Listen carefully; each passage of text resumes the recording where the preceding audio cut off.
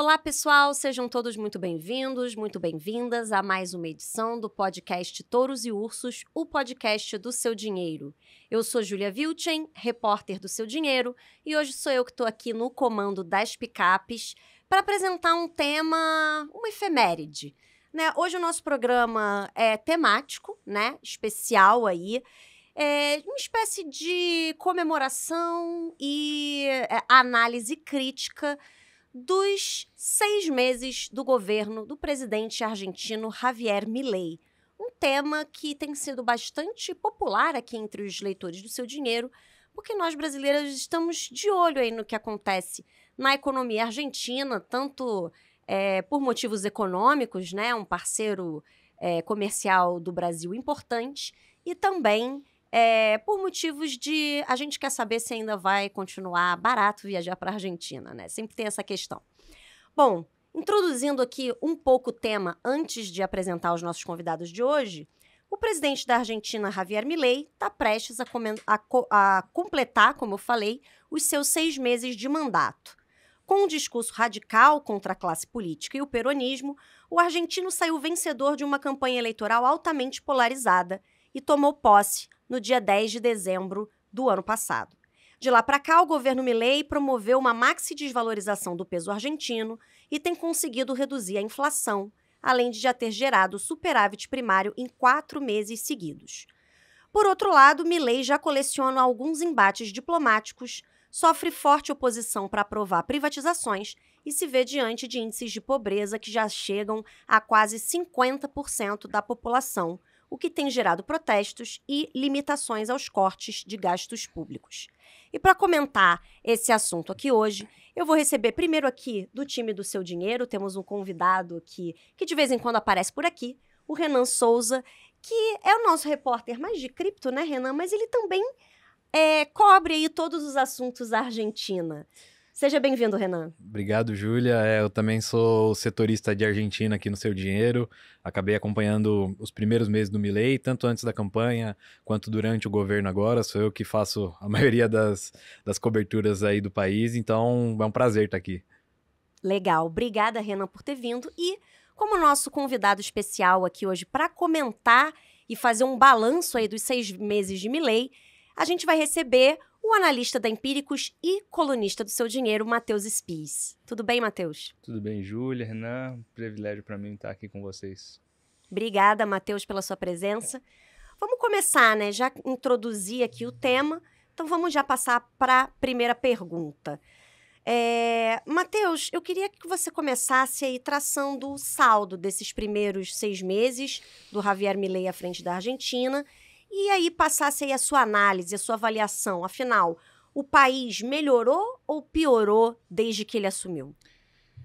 Pragmaticamente, se olharmos dados sociais, o país já estava numa situação muito ruim e, naturalmente, por conta da natureza do ajuste proposto pelo Javier Milei, do ponto de vista social, é a gente observa uma maior contração das condições. O que eu quero dizer com isso? Socialmente, haveria, já sabíamos, uma deterioração das condições sociais, porque uh, a natureza do ajuste do Milley, ele é, uh, do ponto de vista fiscal, uh, contracionista. Então, você tem Uh, redução de gasto. E como você tinha uma economia muito ligada à dinâmica do gasto público, com os subsídios e estímulos, haveria uma perda do poder de compra da população. Então, socialmente, é, o que a gente tem observado é, era algo já esperado, pela natureza, novamente, da, do ajuste. É, é que as condições sociais estão deteriorando. Isso não é de agora também. O país ele já vinha numa situação ruim, então é muito muito bom que fique claro que o, o, a Argentina passa por uma situação de anos né, de descuido econômico que colocou o país na situação que se encontra hoje. Portanto, seria né, imperativo uma solução que muitos consideram radical, mas que seria necessária para que houvesse esse balanço. Então, de um ponto de vista, você tem de fato condições sociais que já vinham ruins e pioraram e que devem continuar piorando. Do outro lado, você tem alguns sinais de um efeito, ainda que pelo menos no curto prazo, já verificáveis, é, os ajustes estão começando a ter resultado. Agora, é, quais são eles? Queda da inflação, marginalmente, mês a mês, e também é, superávit nas contas públicas. Muito se discute a sustentabilidade disso, dado, primeiro, é, quanto desse ajuste será mantido e o quanto a população topa aguentar né, esse aperto nas próprias contas que está sendo realizado. Não é uma situação fácil de ser comentada. A grande verdade é que a herança do Milley, que ele, que ele tem é, é, dado, né, na verdade, é, é muito complicada. Né? São anos de, de kirchnerismo, né, para além do peronismo, porque os peronistas anti-kirchneristas que existem, sala também, estão até votando junto com o Javier Milley. É, é, é são anos de kirchnerismo que viraram muito mal ao país. E tanto é verdade que houve, até pouco tempo atrás, uma outra tentativa também associada a métodos ortodoxos de manuseio econômico junto com o Macri, que não deu um resultado positivo. Pelo contrário, ele sequer foi é, reeleito, veio uh, Roberto Fernandes, e daí ele não se elegeria nem para é, síndico do próprio prédio, veio agora o Javier Milei. Então são várias tentativas uh, de algum ajuste, aqui veio a resposta mais radical e que tem seu efeito uh, do ponto de vista social ruim, claro, é, mas já tem alguns sintomas, sinais, ainda que no curto prazo, vale lembrar, de que a Argentina começou um ajuste que tem dado um resultado diferente daqueles outros que ela, ela tentou no passado. Legal. Então, Matheus, é, aproveitando que você falou desse custo político também da, das reformas do Milley, né? A gente está vendo que Uh, teve uma queda no ritmo da redução de despesas públicas também, né? É, em janeiro, elas caíram quase 40%, já em março, em termos reais, né? Em comparação ao ano anterior, a queda foi de 35%, ou seja, o ritmo de corte está começando a diminuir, né? Acho que justamente porque o Milley não está disposto a pagar esse custo político, né? É, porque a aprovação dele, gira em torno ali de 50%, e a reprovação está no mesmo patamar. E um ponto muito importante também da economia argentina são as pensões e aposentadorias, que são o calcanhar de Aquiles de qualquer governo. O próprio Alberto Fernandes tentou mexer nisso, não conseguiu. O agora também está enfrentando é, essa resistência, tanto popular quanto nas casas legislativas. Então eu queria ouvir um pouco de você, é, quanto que a Argentina ainda tem espaço para mais cortes e quanto o governo parece disposto a pagar o custo político desses cortes?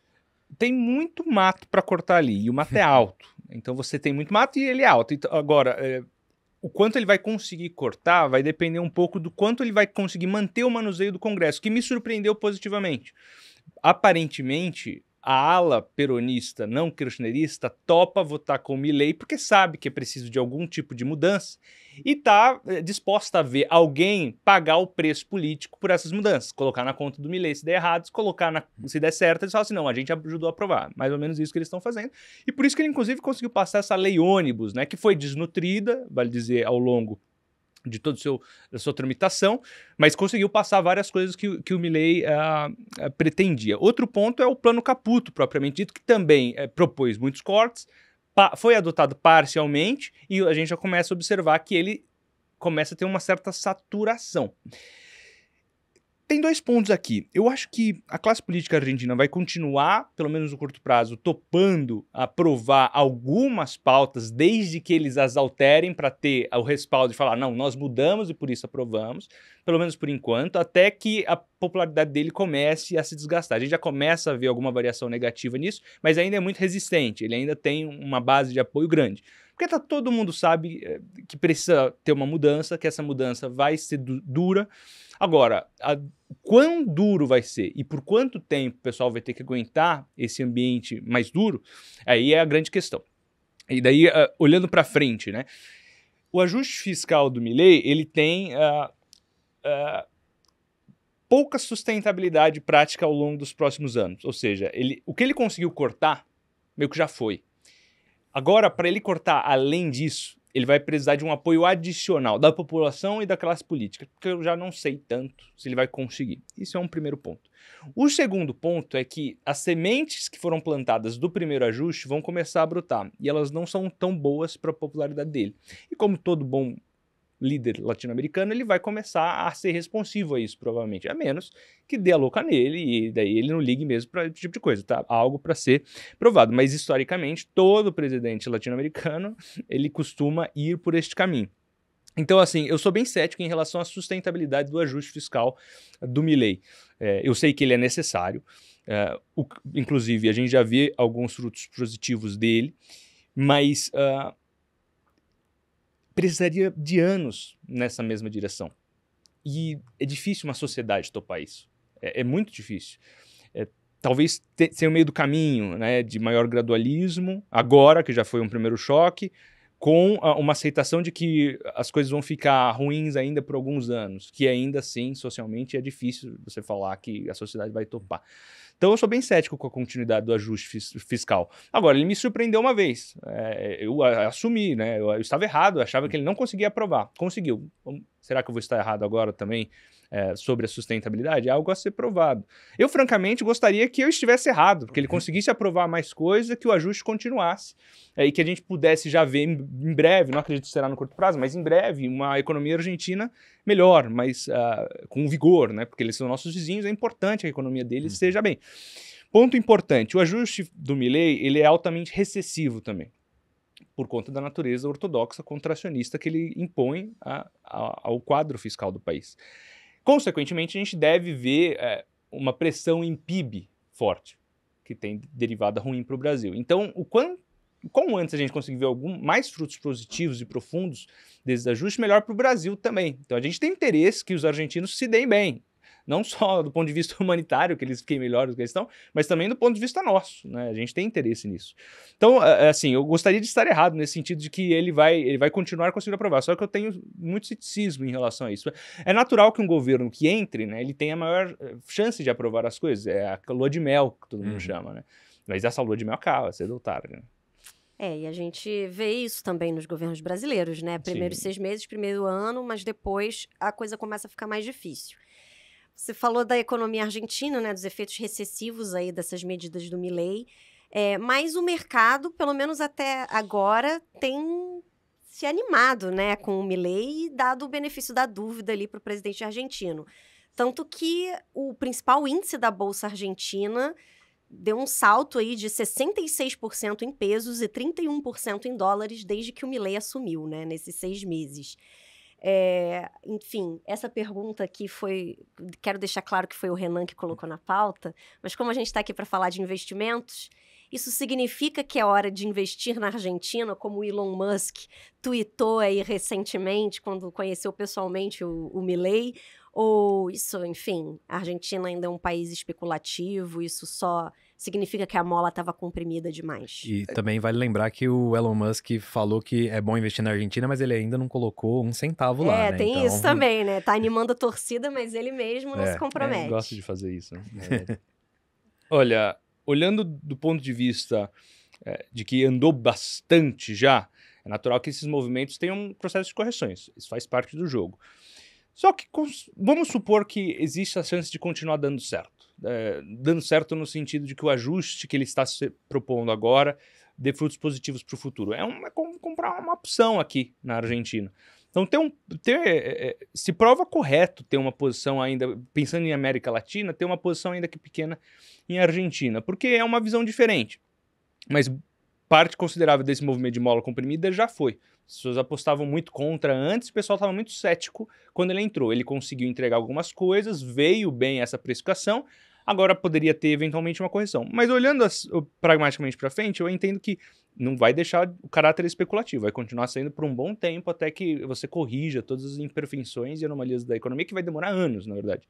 Mas, é, objetivamente, é, eu entendo que tem espaço em algumas carteiras mais arrojadas, mais sofisticadas, posições pequenas, para aproveitar uma continuidade eventual de ciclo. Olha só. Nossa. E mesmo pacote de privatizações, Matheus, é, dentro delas tem algumas empresas que estão listadas em bolsa. Você tem alguma que você tem assim em mente que, ah, dá uma olhada nessa empresa, olha aqui, olha pra, ali? Nesse caso especificamente, eu não faria stock picking de Argentina. Ah, é, sim. eu faria algo mais beta de Argentina. Pegar um ETF de Argentina propriamente dito. Em relação às privatizações, tem muita coisa que a gente achava que podia ser privatizada que aparentemente vai cair por terra também. É, e tem várias outras coisas mais radicais que ele propunha que vão cair por terra ao longo do caminho também. É, nós sabemos que, é, historicamente, histórias de privatização são uh, acretivas para valor de mercado de, de, de, das ações das empresas. Agora, se ele vai ser bem sucedido nisso, não, não, não saberia dizer. Ele tem várias prioridades, na verdade, para colocar na frente. Privatizações é uma delas. É, eu prefiro surfar beta em termos uhum. de bolsa argentina hoje. Não correr o risco de stock picking ali, porque daí fica bem mais delicado, precisa de uh, uma profundidade muito grande no país. Legal. E, Matheus, a gente falou agora do primeiro ano, vamos tentar projetar isso um pouco para frente, né?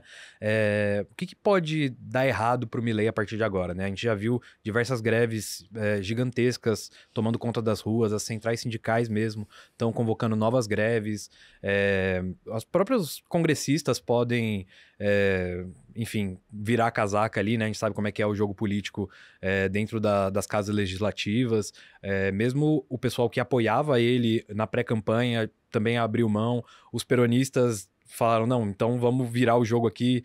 É, enfim, é um xadrez político muito mais complexo do que o próprio brasileiro, né? Então, eu acho que eu queria ouvir de você o que, que pode dar certo o que pode dar errado a partir de agora, mas principalmente o que pode dar errado para o Milley, já que ele já conseguiu algumas vitórias junto ao Congresso e junto à sua plataforma política, né?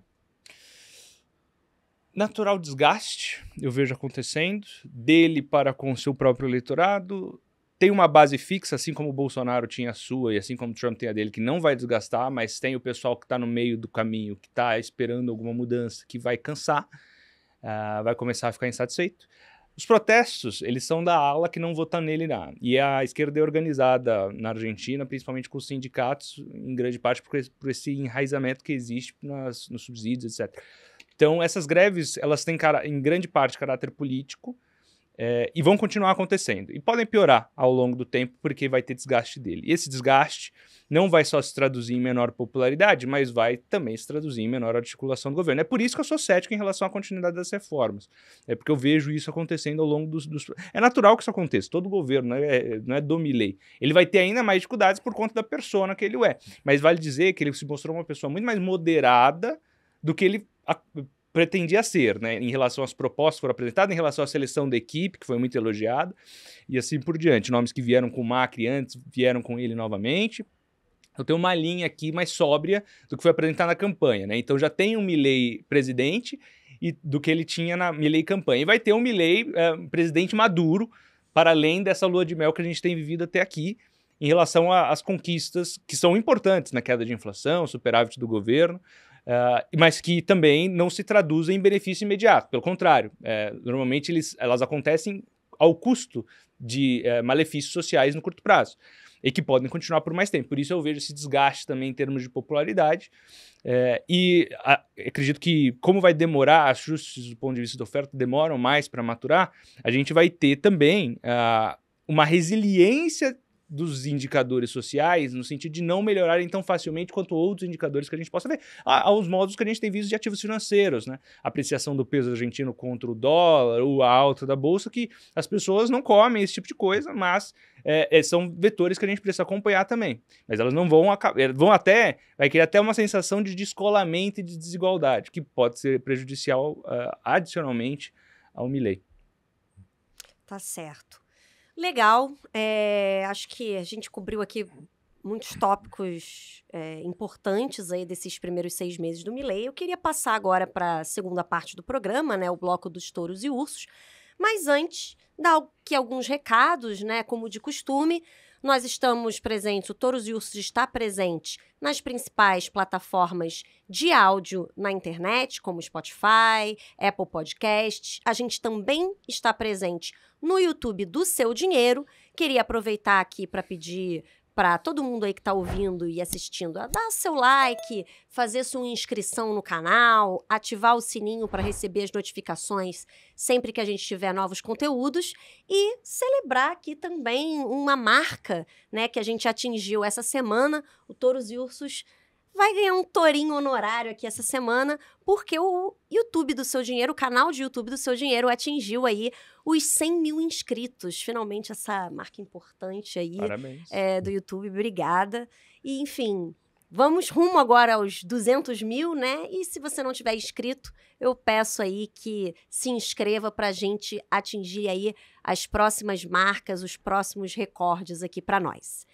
Bom, vamos passar então agora para o bloco dos touros e ursos, né? Lembrando sempre os touros são aqueles que estão em alta, né? Que estiveram em alta na última semana, quem mandou bem na última semana, tanto no mundo dos investimentos quanto dos negócios, quanto no noticiário geral, né? A gente aqui não tem limitações para essa escolha. E os ursos são aqueles que não mandaram tão bem, que estão em baixa, que estão num momento difícil.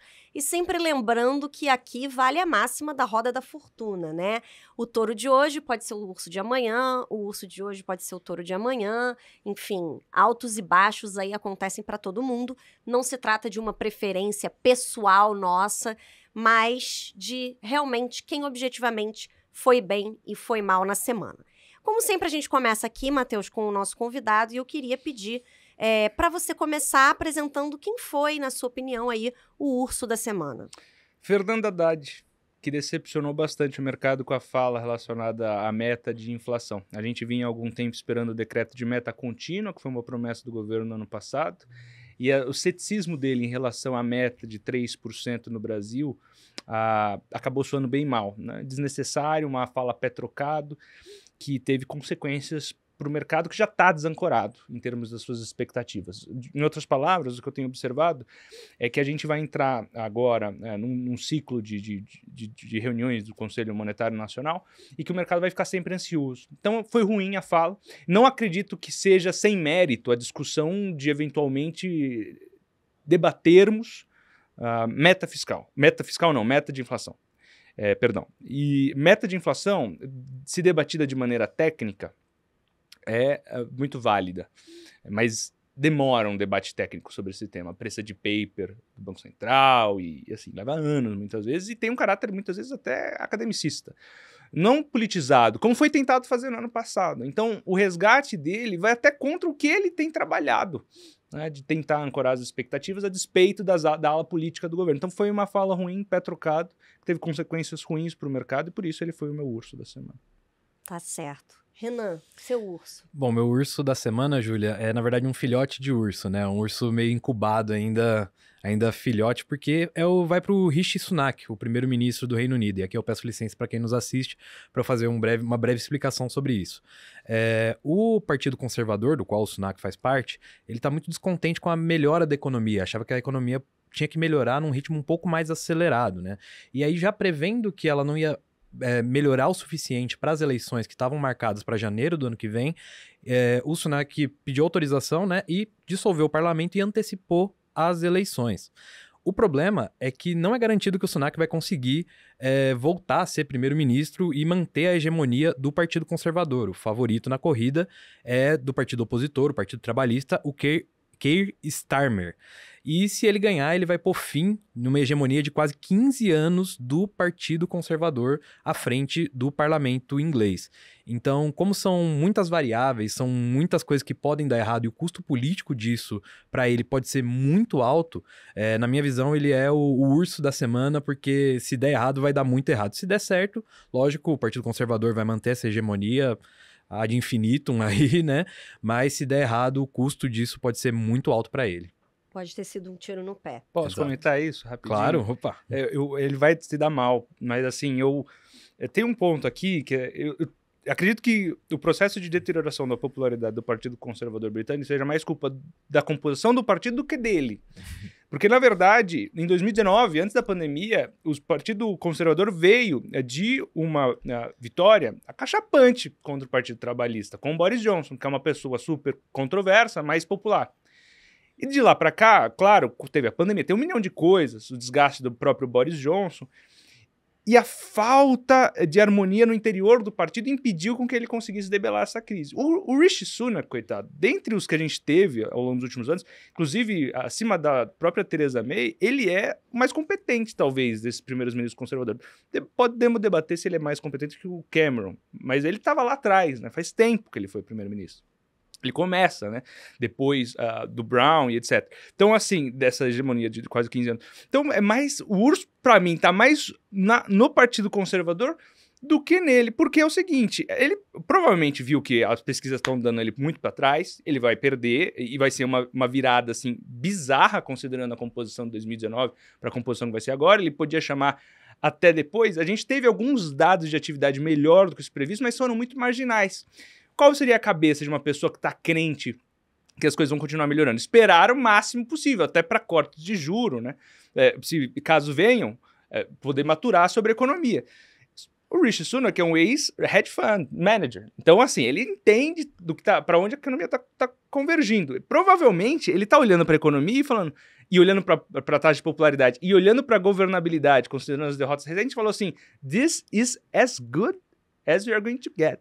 Assim, não existe como melhorar daqui para cá. Então a gente vai logo agora, porque eu não vou governar até o final do ano, não vou ficar aqui perdendo tempo. A gente faz, a gente segue, a, segue o jogo. Ele, ele mesmo, né? Vai, todo mundo vai, eleição geral, enfim. Então acho que assim, eu acho que é mais urso, coitado. Porque eu tenho. É o filhote de urso. É, é pode ser, não, é, eu acho que sim, pode ser um filhote de urso, pode ser. Daí é o filhote do, dos ursos dos ali. Dos conserva conservadores, né? Que errou muito. E principalmente, eu acho que a, a grande frustração ali foi a Liz Truss. Tivesse sido ele no lugar da Liz Truss, que deveria ter sido, caso fosse ouvido, uh, os parlamentares que elegeram ele majoritariamente, só que ele não teve a maioria, e daí foi para a eleição dos filiados ao partido, daí ele perdeu uh, da, da Truss, que conseguiu trabalhar melhor a base do próprio partido. E daí ela veio e foi, uh, se eu não me engano, ou a mais curta, mais breve. Mais curta. Não durou o período de um alface é, fora da geladeira. Foi, exatamente. Foram, 50, foram 49 dias. É, eu só não sei se ela é a, é a, a primeira-ministra mais curta ou a segunda, mas que seja. É, foi horrível, foi um desastre. Quase que quebrou a indústria de fundos de pensão. O Partido Conservador, portanto, fracassou em eleger um, um líder que sucedesse o Boris Johnson, que levou o Partido Conservador para a maior vitória desde que ele entrou. Aliás, maior do que o próprio Cameron lá atrás. Então, assim, foi mais problema do partido em ter conseguido, não ter conseguido ter a liga necessária para colocar ele direto, e daí, cara, a perda de popularidade pós-Truss é permanente. O que foi feito ali, o pessoal não vai voltar. E agora, para os conservadores voltarem, pode demorar. É a própria Partido Trabalhista está bem fraco agora, na realidade é, não, não vai ter tanta força como teve com personalidades como Tony Blair, por exemplo. Mas ainda assim vai conseguir dar uma resposta nas, nas, nas, urnas que vai ser mais do que proporcional ao que o Partido Conservador tirou dos partidos trabalhistas ao longo dos últimos anos. Fica aí minha explicação do urso da semana, então. Bom, mas eu achei boa, achei legal esse debate para trazer aqui. É, não, esse, a gente estava falando né, na redação, né, Renan, que realmente é Tá, eh, tava, tava cotado mesmo para ser o urso da semana aqui no programa. Bom, eu vou para o universo corporativo agora. Eu escolhi como urso da, da semana as lojas Renner, né, cujas ações estão aí com uma queda de mais de 11% essa semana na Bolsa Brasileira. E a Renner vem passando aí por um momento difícil, difícil já do ponto de vista macroeconômico, né, como outras varejistas sofrendo bastante aí com juros altos, né? É, os juros futuros elevados, a Selic também elevada e, e com perspectivas de quedas cada vez mais, mais amenas, né? A gente achava que ia cair mais, agora acha que vai cair menos. Essa semana a gente teve é, nos Estados Unidos o Federal Reserve, o Banco Central Americano, divulgou a ata da sua última reunião de juros e é, mostrou que ainda um discurso bastante duro aí, é, indicando que os juros por lá também devem continuar altos aí por mais tempo, que a inflação não está é, sendo tão benigna assim. E se antes as apostas aí de corte de juros nos Estados Unidos para setembro tinham se elevado, elas voltaram a cair. Então, o cenário aí de juros é, na última quarta-feira, que foi divulgada a ata do Fed aí, foi bem ruim para as bolsas e a ação da Renner sofreu bastante. Mas teve também essa semana um acontecimento específico para lojas Renner, a corretora XP é, emitiu um relatório rebaixando a recomendação de Renner de compra para neutra, indi indicando, além dos problemas macroeconômicos, outros problemas aí que vêm atingindo também a Renner. Um deles é a questão do clima. Mas, bem, o que o clima tem a ver né, com uma varejista de vestuário? Tem bastante a ver, e esse problema também não é inédito entre as varejistas de vestuário brasileiras, né?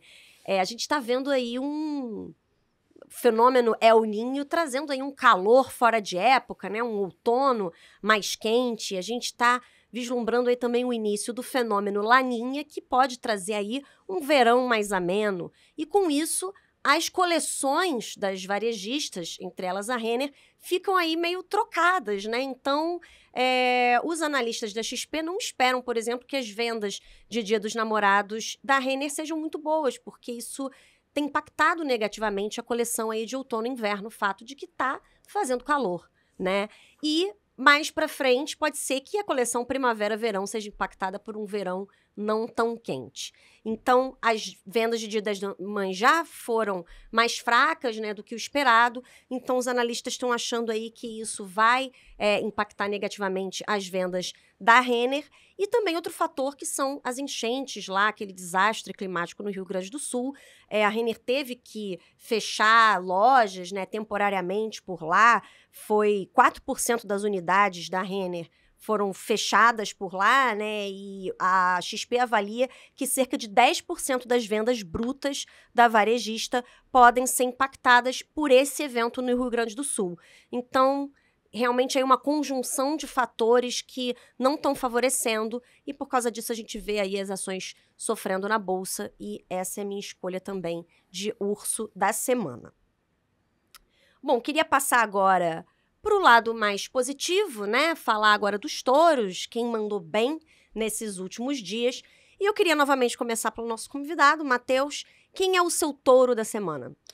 A NVIDIA, com um resultado brilhante, empresa de agora mais de 2,5 trilhões de dólares de valor de mercado. Mesmo com essa tamanho, né? Mesmo com esse tamanho, ela consegue crescer seu valor de mercado mais 10% só hoje, né? Ontem estava 2,3%. O resultado, eh, não só né, no, no, top line, bottom line, mas também no guidance, acima do esperado. E é algo que provavelmente a gente está vendo uma empresa que vai ser a mais valiosa do mundo muito em breve, é, caminhando para quebrar novos recordes de, valor de mercado. Então, para mim, é, é, é, a grande campeã, é, pelo menos até aqui, né, desse ciclo de investimentos CAPEX e investi de inteligência artificial que parece a nova fronteira mesmo para o setor de tecnologia. Uma, como o Jensen Huang falou, né, uma nova revolução industrial, parece que é isso mesmo para onde a gente está caminhando.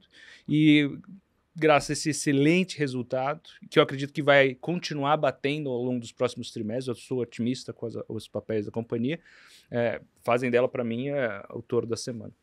Legal. Você diz que continua otimista com os papéis da companhia, então não subiu demais. Eu recomendo, eu acho que tem, porque eu acho que ela vai ser a mais valiosa do mundo mesmo. Acho que ela vai bater 3 trilhões com certa facilidade até. Principalmente se cortarem juros no segundo semestre. E vai continuar. É, a Nvidia realmente, inclusive, cada vez mais, né, os nossos leitores no seu dinheiro estão querendo acompanhar essa empresa. A gente fez a cobertura aí desse balanço essa semana e a Nvidia realmente mandou brasa. Vamos lá, Renan. E você, qual é o seu touro da semana? Meu touro da semana vai para uma queridinha do meu universo, que é o universo cripto, né? Que é o Ethereum, que ele saltou mais de 25% na semana, superando a alta do Bitcoin, que agora está em torno de 5% nos últimos sete dias. E tudo porque uma notícia de que recentemente a SEC voltou a avaliar a possibilidade de liberar o mercado para ter o primeiro ETF de, de Ethereum Spot, né, que é o Ethereum à vista. A principal diferença de um ETF, né, para quem não, não acompanha muito esse mercado, um ETF à vista para um ETF de futuros, é que o ETF à vista, a gestora ou o banco que está cuidando daquele ETF precisa ter aqueles tokens, aquele ativo em caixa, ou seja, ela precisa comprar eles para fazer, para poder disponibilizar esse ETF. Então, é, assim como aconteceu com a aprovação do ETF de Bitcoin Spot, a tendência é que se esse ETF for aprovado lá nos Estados Unidos, o Ethereum também tem uma valorização muito grande, né? É, desde a aprovação até hoje, o Bitcoin saltou mais de 60% no ano, é, só com a previsão da aprovação do ETF de Ethereum, o Ethereum já superou essa valorização no ano, sendo que ele ganhou 30% só essa semana, no acumulado do ano são 66% de alta, superando o Bitcoin. Então, acho que ele é o touro da semana até o presente momento, enquanto a gente está gravando aqui, é, ainda não foi aprovado, a SEC ainda não liberou, mas a expectativa é de que isso aconteça ainda hoje, talvez mais tarde, ou enfim, só quando a SEC quiser, mas a expectativa é que essa aprovação aconteça ainda hoje. Então, bem possível que quando vocês estiverem ouvindo e assistindo esse programa, já tenha rolado, né? Muitas, muitos dos nossos touros e ursos aqui estão no meio de dos acontecimentos e quando o programa sai, alguma coisa já mudou para eles. Bom, eu vou encerrar aqui então com o meu touro da semana, que é um touro é um touro inusitado, porque essa pessoa, né, uma pessoa, escolhi uma personalidade, ela faleceu já há bastante tempo, mas está em alta. Eu estou falando do escritor Machado de Assis. Machado de Assis como touro da semana no Touros e Ursos?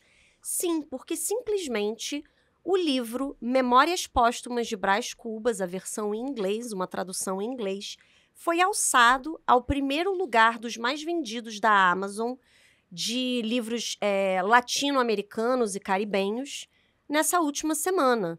Mas o que aconteceu? Por que que Brás Cubas, com perdão aqui da piada, por que que o Brás Cubas ressuscitou, né?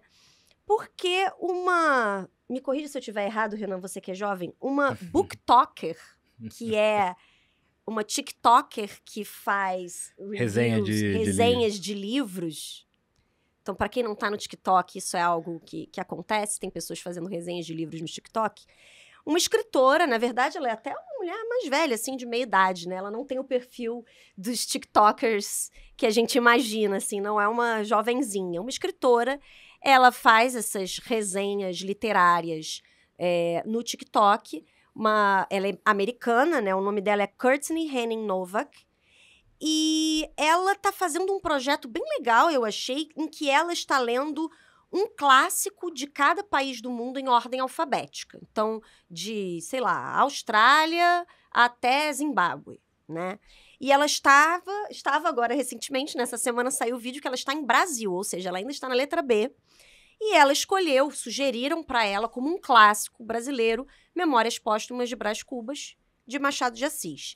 Ela está lendo uma versão em inglês, uma tradução, e ela amou e ela fez um vídeo super elogiando o livro, dizendo que por que vocês não me avisaram que esse é o melhor livro já escrito, elogiando bastante a tradução também, dizendo que a tradução era impecável e dizendo agora eu preciso aprender português para ler no original. Meu Deus, eu ainda tenho que ler de Brunei até Zimbábue. E para mim já encontrei o melhor livro, só faltam 100 páginas. O que, que eu vou fazer quando acabar, né? E viralizou esse vídeo e aparentemente as pessoas foram realmente influenciadas a comprar e lá está de novo Machado de Assis na lista de best-sellers. Eu não sei como ele reagiria a essa notícia se ele pudesse ficar sabendo. Acho Né? que bem. Bem, né? Acho que ele ia ficar feliz. Ele gostava de fazer sucesso. é, mas ele, né, ele, ele era jornalista também, além de ser escritor, né? E ele, Então ele devia ser meio rabugento, né? ele, é, ele- eu imagino uma persona meio rabugenta e eu imagino também assim, ele não era um cara que, apesar de hoje ser considerado o maior escritor da língua portuguesa, ele não, não fazia só isso da vida, né? Ele não vivia só de, de literatura. Eu acho que ele ia achar legal. Acho que ele ia achar legal, mas ia, ia ser um pouco desconfiado, assim. Mas como assim? Ele ia perguntar o que, que é TikTok, O que, que é TikTok? BookTok. O que, quem é essa mulher? Uma, uma americana falando ali das pessoas comprando. Enfim, mas muito legal, mostrando que, mesmo nessa época de vídeos de 15 segundos é, e, e conteúdos tão descartáveis, né? Cada vez mais descartáveis, um clássico ainda é um clássico, né? Uhum. E mesmo e consegue aí até se internacionalizar. Bem, vou ficando por aqui, vamos terminando por aqui o nosso podcast Touros e Ursos. Eu queria agradecer muitíssimo a presença do Matheus. E Matheus, conta também um pouco para o pessoal que está nos ouvindo, nos assistindo, como que eles podem acompanhar o seu trabalho. E Claro, eu, bem, trabalho na Empíricos, eu escrevo diariamente uma newsletter matinal, Mercado em 5 Minutos. Se você tem seu e-mail cadastrado na Empíricos, você consegue acompanhá-lo. Ela tem a versão gratuita e tem a versão paga também, mas a gratuita eu já cubro basicamente tudo o que acontece ou está para acontecer naquele dia específico no mercado. E dentro da Empíricos eu estou responsável junto do Felipe, né, Miranda, que é nosso estrategista-chefe, por algumas séries, na palavra do estrategista, Double Income, em que eu consigo contribuir ali com ideias de investimento, diferentes tipos de ideia. Né? Palavra do estrategista bem plural, Double Income bem focado em renda e tem a coluna no seu dinheiro também, a todas as terças-feiras. Isso mesmo, acompanhe lá no seudinheiro.com as colunas do Matheus às terças. E queria agradecer também, muito obrigada aí pela presença, Renan, mais uma vez, que venham outros programas aí com essa nossa parceria. Que a gente possa se reunir mais vezes aqui, Julia. Acho que é o primeiro programa que a gente faz junto, né? Do seu dinheiro. Acho que eu e você sim. Acho que a gente já fez com o Vini, É. mas só nós dois acho que é É inédito. É inédito. Então, parabéns pelo seu, pro seu dinheiro, que chegou a 100 mil visualizações, né? 6 100 mil inscritos. 100 mil inscritos. no YouTube. E parabéns para nós que o projeto continue assim, de vento em popa, né? E venham os 200 mil. Muito obrigada aí a todos os que nos ouviram e nos assistiram. E até a próxima.